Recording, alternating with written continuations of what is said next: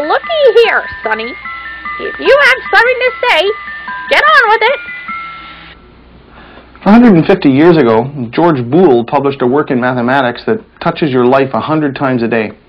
It's often called Boolean algebra, but in actual fact it's just one subset of Boolean algebra, binary algebra.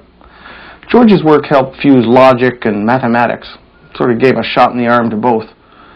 Binary logic is so simple and elegant that people who work with it often want to share it with people who've never even heard of it.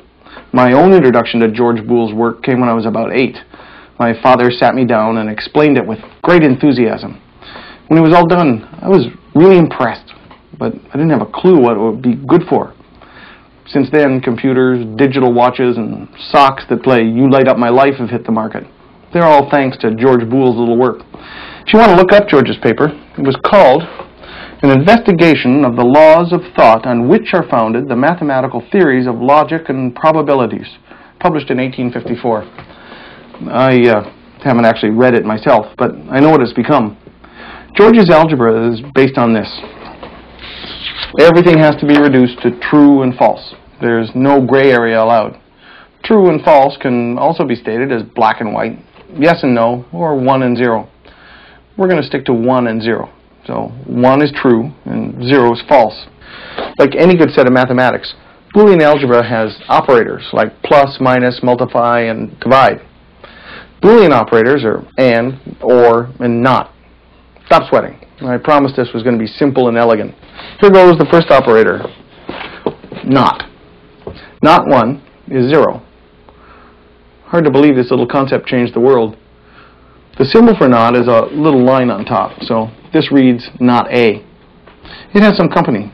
The second operator is and. 1 and 1 are 1. Now, this might not be what they told you in school, but school never tells the whole truth about anything. There are some more aspects to the AND operator. 1 and 0 are 0. And 0 and 1 are 0. This is so simple it appears stupid. To see AND better, you need to make a truth table. The logic symbol for AND is this, and this is the truth table. Now, AND can have any number of factors. If there were four factors, the truth table would read like this. See, because now we need 16 entries to show all of the possible combinations of A, B, C, and D. But there's one overriding truth that saves having to puzzle over the table. AND requires all of its inputs to be true for the result to be true. In all other cases, the result is false. The OR operator is a little less picky than AND. If any of the inputs is true, the result is true. Like the AND, the OR can have any number of inputs. Its fundamental truth is that all of the inputs have to be false for the result to be false. So OR is the logical mirror image of AND. Next. There is no next.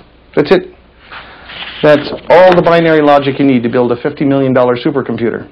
The AND and OR thingamajigs are called gates in computer talk, and the true and false are the presence or absence of a voltage. Oh yeah, to round out your bag of gates, this is the symbol for a NOT gate. There's also a handy little devil called the exclusive OR.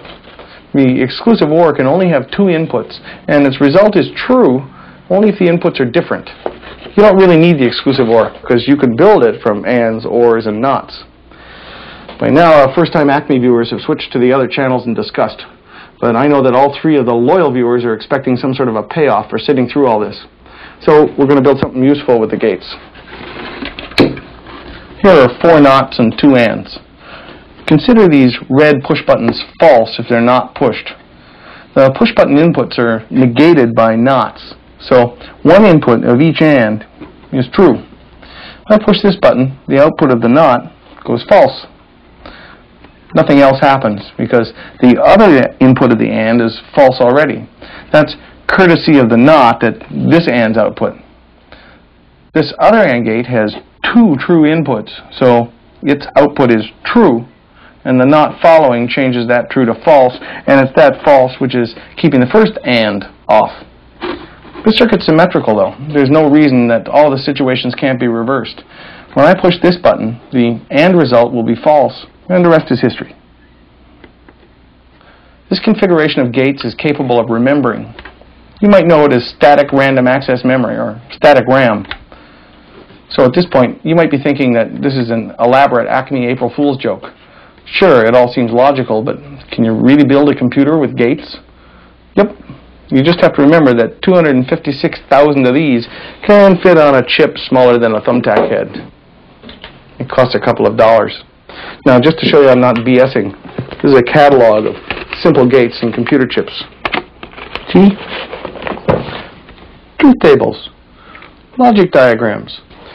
Any chip manufacturer would be happy to put any or all of the chips in this book on one big chip for you, wired in whatever way you like.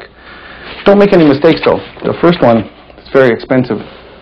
Once you're set up, the second one will only cost you a couple of cents. Once you get your head properly buried into Boolean algebra, you find it has all sorts of neat tricks. For instance, if you NOT all of the inputs to an AND gate, it becomes an OR gate. Scratch out your own truth tables if you don't believe me. The other week I came across a cartoon in an electronics magazine that made me smile. And since it relied on George Boole's notation, I didn't have anyone to, to share it with. But now that all three loyal Acme viewers are such Boolean whizzes, I do have someone to share it with.